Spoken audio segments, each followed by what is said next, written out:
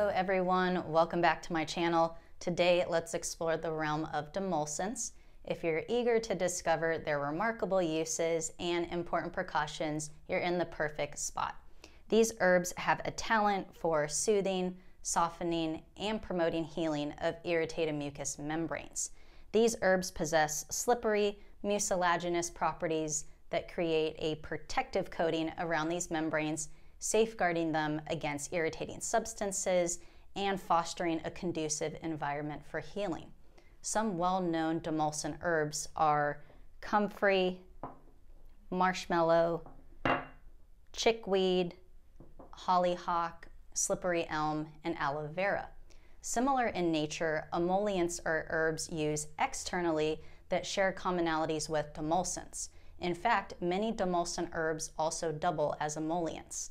When employed in a poultice, they effectively retain warmth and moisture while alleviating inflammation and infection.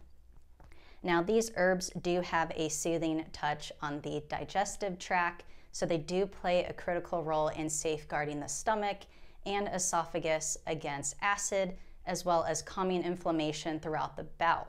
So, conditions like heartburn, GERD, dyspepsia, indigestion, and constipation can greatly benefit from the therapeutic effects of demulcents. Now, in terms of respiratory health, these herbs work wonders by reducing dry coughs and soothing sore throats. Internally, these substances also support the urinary system aiding in bladder inflammation, cystitis, and the presence of kidney stones or sediment.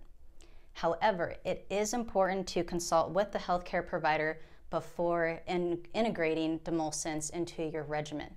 The reason being, these herbs may impact the rate of drug absorption.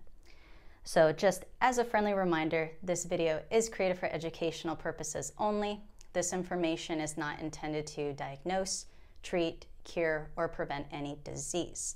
Again, I would like to just reiterate it is essential to speak with the healthcare provider before incorporating these herbs into your routine if you have an underlying health condition or are taking medications. But that concludes our overview today of the world of demulcents. I hope you found this video informational and enlightening. If you did, be sure to give it a thumbs up, share it with friends, and be sure to click the notification bell so you never miss any of my herbal content. Thank you for watching. Until next time.